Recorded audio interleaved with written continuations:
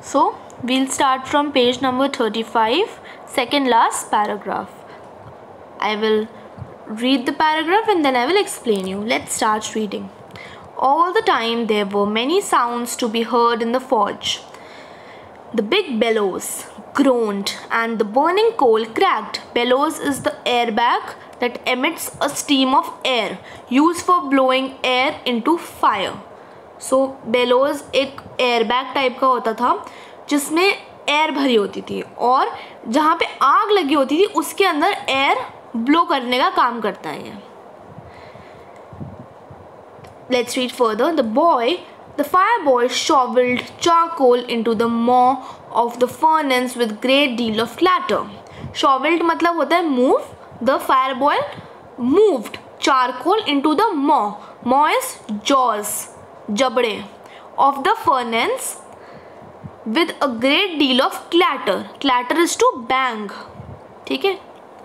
Outside roared the waterfall and the sharp north wind whipped the rain against the brick tiled roof brick whipped का मतलब होता है beaten with a whip here to hit something जब हम कुछ सुनते हैं, जो कोई चीज़ हिट हो रही होती है, उसको हम विप्ट बोलते हैं। Now this paragraph means that one could hear different types of sound in the forge forge shop होती है जहाँ पे मेटल मेल्ट होता है।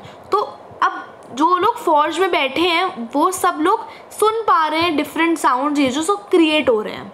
There was a big bellow which was blowing air into the fire तो एक big बेलो था air bag था, जो फायर के अंदर एयर ब्लो कर रहा है विथ ग्रेट साउंड उसका, उसकी बहुत तेज़ आवाज़ आ रही है. Also there was the sound of cracking coal ना जब कोई चीज़ मेल्ट कर रहे हैं तो उसमें क्रैक्स आ रहे हैं तो उसकी भी आवाज़ आ रही है. One could also hear the back bang of the charcoal which was being shovelled by the fire boy now उसको स्टर करते करते उसको बैंग भी करना है, जिससे कि वो जल्दी मेल्ट हो. तो जो बैंगिंग ऑफ़ द चाकोल है, उसकी भी आवाज़ आ रही है the sound which were coming from outside the mill. These were of the waterfall, the high speed north wind which hit the raindrops against the brick tiled roof. और बाहर ठंड है वाटरफॉल है तो उसकी आवाज़ भी हाई स्पीड पर आ रही है ठीक है let's read further it was probably on account of all that noise that the blacksmith did not notice that a man had opened the gate and entered the forge until he stood close up to the furnace. Now, what happened? It was due to these different types of sounds, the blacksmith did not realize the man had opened the gate. अब इसी इन्हीं सब वजहों से इतने sounds आ रहे हैं different different इसीलिए जब रैट्रैप सेलर ने गेट ओपन किया तो तो ब्लैकस्मिथ को नहीं समझ में आया ठीक है and entered the forge until he stood close to the furnace. And he, ent he had entered it until he came close and stood near the furnace. जब तक वो पास नहीं आ, आ गया और खड़ा नहीं हो गया पास आकर ब्लैक स्मिथ वो पर्सन होता है जो रिपेयर करता है चीज़ें मेड अप ऑफ़ आयरन ठीक है let's read further surely It was nothing unusual for poor vagabonds without any better shelter for the night to be attracted to the forge by the glow of light which escaped through the sooty panes. Vagabonds वो होते हैं जो wanderers होते हैं जो इधर से उधर उनका कोई घर नहीं होता और इधर से उधर घूमते रहते हैं सूटी pens is the window pane which is covered in soot soot क्या होता है? Black powder produce when coal of wood etcetera is burned जब उनको बर्न किया जाता है कोल को वुड को तो उससे एक डस्ट निकलती है। जो ब्लैक कलर का पाउडर होता है, उसको सूट बोलते हैं एस डबल ओ टी तो उसी को सूटी पेन्स बोला है। पेन्स विंडो पेन्स की बात कर रहे हैं यहाँ पर। तो जो विंडो पेन्स है, वो उस डस्ट से कवर्ड कवर हो चुके हैं। Let's read further. And to come in to, in warm themselves in front of the fire. The blacksmiths glanced only, only casually and indifferently at the intruder. He looked the way people of his type usually did, with a long beard, dirty, ragged, and with a bunch of rat traps dangling on his chest. So, what happened?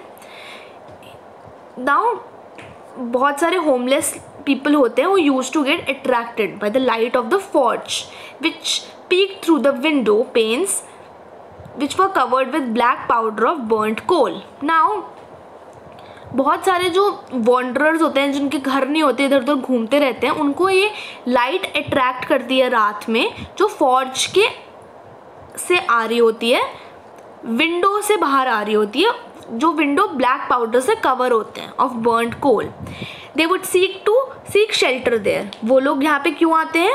Homeless लोग, जिससे कि उनको एक रात के लिए shelter मिल जाए. They would warm themselves with the help of burning fire अपने जो बर्निंग फायर है, उससे वो उनको गर्मी भी मिल, गर्मी भी मिलती है, क्योंकि दिसंबर का महीना चल रहा है. As the blacksmith was accustom to visit visitors क्योंकि ब्लैक स्मिथ को ये हैबिट थी कि विजिटर्स आते रहते हैं they were indifferent to the man इसीलिए उसने इतना ध्यान नहीं दिया और उसको इग्नोर कर दिया रैट ट्रैप सेलर को. They just look at looked at him उन्होंने एक बार एक दूसरे को देखा the rat trap seller appearance वो similar to that of other wanderers बिल्कुल जैसे और वॉन्डरर्स होते हैं, बिल्कुल उसी, उन्हीं की तरह रैट ट्रैप सेलर की अपीयरेंस थी. He had a long beard dirty, wore old worn out clothes and had a bunch of rat traps hanging from his chest. Let's read further. He asked permission to stay and the master blacksmith nodded a haughty. Haughty is arrogant. Rudely. Consent without honoring him with a single word. Now, peddler जो था peddler यहाँ पे रैटरैप को बोला जा रहा है। रैटरैप seller जो था उसने permission Lee he try to seek permission from the black smith so that he could stay in the forge for a night he allowed the peddler with an arrogant concern by just nodding and didn't say a single word to him उसने एक शब्द उससे नहीं बोला बस एक rudely उसने अपना हेड uh, नॉट कर दिया। The next paragraph says the tramp did not say anything I the tramp is uh, is a synonym of vagabond or a wanderer. जो लोग वॉन्डर होते हैं जो होमलेस होते हैं जो इधर उधर घूमते रहते हैं उन्हीं को हम ट्रैम्प भी बोलते हैं। सिनेम एक तरीके से। लेट्स रीड फॉर दो ही had not come there to talk but only to warm himself and sleep. In those days, the Ramso iron mill was owned by a very prominent iron master whose greatest ambition was to ship out good iron to the market. He watched both night and day to see that the work was done as well as possible and at this very moment he came into the forge on one of his night rounds of inspection prominent मतलब important होता है ठीक है now what happened? The peddler also said nothing जो rattrap था rattrap seller था, उसने भी कुछ भी नहीं बोला, क्योंकि उसका मेन एम क्या था? Main aim was to warm himself and sleep there now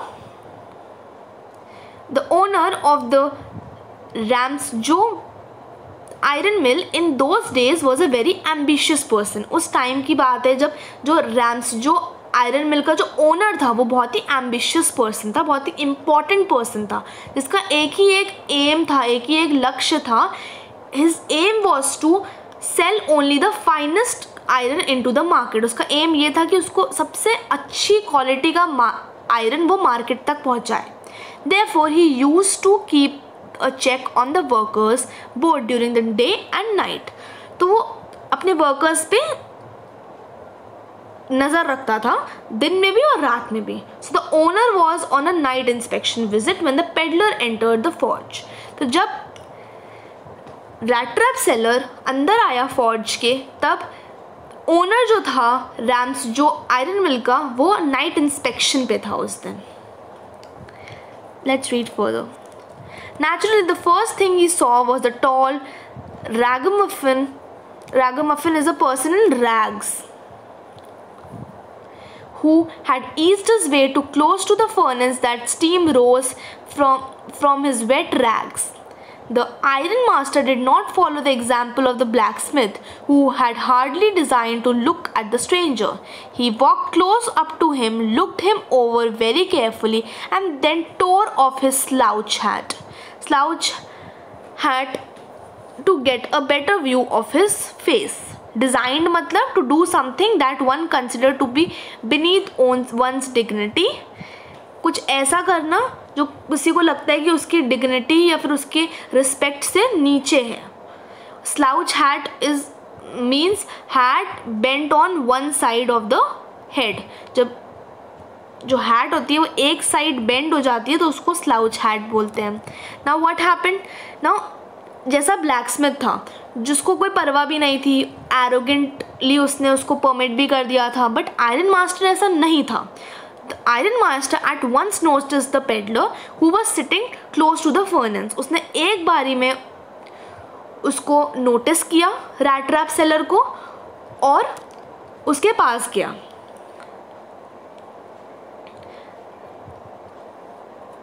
he not only went near him but he removed the wanderer's hat that was bent on to one side so that he could see the man's face clearly now वो जो owner था वो उसके पास सिर्फ़ गया नहीं उसके पास उसने वॉन्डरर की हैट रिमूव करी जिससे कि उसका फेस क्लियरली देख पाए let's read further but of course it is you Nils Olf, he said, How you do look! The man with the rat traps had never before seen the Iron Master at Ramsjo and did not even know what his name was. But it occurred to him that if if the fine gentleman, th- gentleman thought he was an old acquaintance, acquaintance matlab associate, he might perhaps throw him a couple of kroner. Therefore, he did not want to undeceive him all at once. Undeceive is to tell someone that his belief is mistaken. किसी को ये बताना है कि उसका जो belief है वो गलत है now what happen let's let's understand this जब आयरन मास्टर डैट्रप सेलर के पास गया और उसने उसकी हैट उठाई he mistook him as an old acquaintance Nils Olof उसने उसको मिसअंडरस्टूड कर लिया। और उसे लगा कि ये जो है, ये पहले भी यहाँ पर आ चुका है और जिसका नाम निस, निलिस ओलोफ है। The peddler didn't know him nor he had seen this man before peddler owner को नहीं जानता था और ना ही उसने कभी उसको देखा था। But he thought that if this man mistook him as his own companion and gave him some money out of pity then it would be a good thing but उसने उसको सही नहीं किया। उस रैट्रैप सेलर को लगा कि अगर ओनर ने उसको मिस्टुक कर लिया है एस और उसको ऐसा लग रहा है कि वो उसका ओल्ड कंपेनियन है जो उसके साथ पहले काम करता था वो है। और आउट ऑफ़ पिटी अगर उसने उसको कुछ मनी दे दी तो उसके लिए अच्छा होगा ये। इसलिए उसने उसको ठीक नहीं किया। Therefore he didn't let him know that he had mistaken him as Nils Olof तो उसने उसको पता ही नहीं लगने दिया कि वो निल्स ओलोफ नहीं है। Let's read further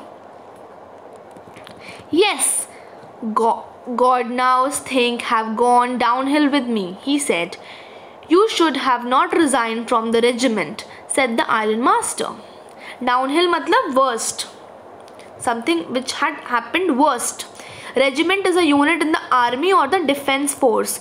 Defense force या फिर army में units को regiment बोलते हैं. Let's read further. That was the mistake. If only I had Still been in the service at the time, it never would have happened. Well, now, of course, you will come home with me. So, what happened now? So, the rat trap seller started a conversation with the iron master by saying that things didn't well with him with him जब owner ने पूछा कि तुम्हें क्या हो गया तुम ऐसे कैसे बन गए हो सो so, उसने ट्रैप सेलर ने उसको जवाब दिया कि मेरे साथ बहुत वर्स्ट चीज़ें हुई हैं, जिसकी वजह से आज रिज़ल्ट एज अ रिज़ल्ट मैं ऐसा बन गया हूँ। मैं इतना गरीब हो गया हूँ। To that the iron master reply that he had made a big mistake by leaving the regiment so उसने बोला कि उसने बहुत बड़ी गलती कर ली आर्मी को छोड़कर। He also added that if he would have been working in the regiment when he resign he wouldn't let him do that and he said कि अगर वो उस समय काम कर रहा होता उस रेजिमेंट में तो वो उसको रिज़ाइन नहीं करने देता। Later on he invited him to his home और बाद में the iron master invited the peddler that is iron uh, sorry rat trap seller to his home. Because he mistook him as Nils Olof उसने mistook किया था उसे कि कोई और है ये। ठीक है? जिसका मिसअंडरस्टैंडिंग रैट्रैप सेलर ने क्यों नहीं पूरी करी, क्यों नहीं ठीक करी? बिकॉज़ उसको लगा कि अगर उसे लगा कि उसका ओल्ड कंपेनियन उसे मिस्टुक कर रहा है तो उसको आउट ऑफ़ पिटी शायद कुछ पैसे दे दे और उसका कुछ भला हो जाए। Let's read further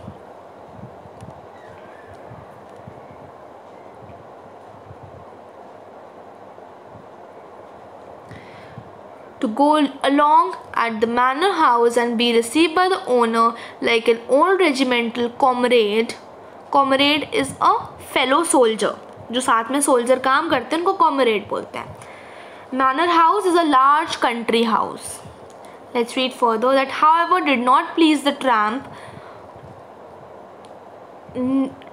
Tramp का मतलब होता है वॉन्डरर्स जो इधर उधर घूमते रहते हैं जो who don't have any home No, I couldn't think of it, he said, looking quite alarmed. He thought of the 30 kroners to go up to the manor house, which be like throwing himself voluntarily into the lion's den. He also wanted a chance to sleep here in the forge and then sneak away in inconspicuously as possible. Uh, alarmed means to frightened, in inconspicuously means which is not noticeable. जिसको हम notice नहीं कर सकते. Okay so what happen now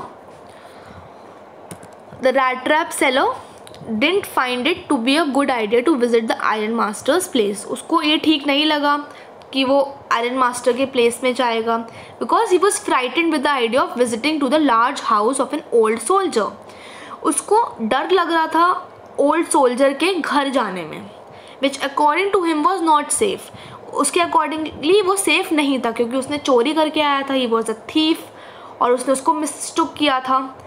ठीक है? After all he had the stolen money with him क्योंकि उसके पास स्टोलन मनी भी तो था thirty kronors he didn't want to put himself in danger his intention were to sleep in the forge and then go away from there without even being noticed ना, उसका intention सिर्फ़ वहाँ पर रुकने का यही था कि उसको फोर्ज के पास शायद रात भर वो सो जाए और उसके बाद उसे अपने वापस अपनी जगह लौट जाए वो अननोटिस्ड और कोई उसे नोटिस भी ना करे बिकॉज़ वो चोरी कर कर आया था। He was a thief let's read further the iron master assume that he felt embarrassed because of his miserable condition तो उनको क्या लगा? उन्हें लगा आयरन मास्टर को कि शायद अपनी इस मिजरेबल कंडीशन की वजह से उन्हें एम्बेरसमेंट फील हो रही है। क्योंकि उसने उसको मिसटुक किया हुआ था ऑलफ से। सो ही थॉट कि उसके ओल्ड फेलो को एम्बेरसमेंट फील हो रही है क्योंकि उसकी जो ये कंडीशन है, वो बहुत मिजरेबल हो गई है। ठीक है now that's it for the video I will explain you further in the next video thank you